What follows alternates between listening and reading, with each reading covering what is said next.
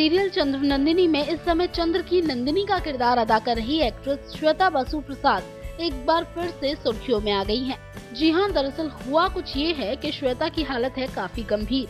श्वेता को काफ़ी ज़्यादा चोट लगी है और ये चोट भी उन्हें सेट पर ही लगी। सेट पर अचानक श्वेता का पैर सीढ़ियों से फिसल गया और वो नीचे आ गिरी। ये हादसा बहुत जल्दी हुआ, कोई कुछ भी सोच या समझ नहीं पाया। लेकिन उसके तुरंत बाद ये काफ़ी अच्छा हुआ कि प्रोडक्शन टीम श्वेता को लेकर हॉस्पिटल भागी, जहाँ पर श्वेता को जल्दी से डॉक्टर को दिखाया गया। डॉक्टर ने श्वेता को देखने के बाद ये सलाह दी कि उन्हें दो हफ़्ते तक आराम करना होगा। आपको जानकारी दे दें कि सीरियल चंद्रनंदिनी एक ऐतिहासिक शो है, और इस मैथोलॉजिकल शो में मशाल आदि का प्रयोग किया जाता है। तभी मशाल में से कुछ तेल गिरा हुआ था, जिसके कारण श्वेता ने उस पर पैर रख दिया और वो फिसल कर नीचे आ गई। श्वेता की आँख पर भी काफ़ी गंभीर चोट आई थी, उनकी आँख सूज गई थी।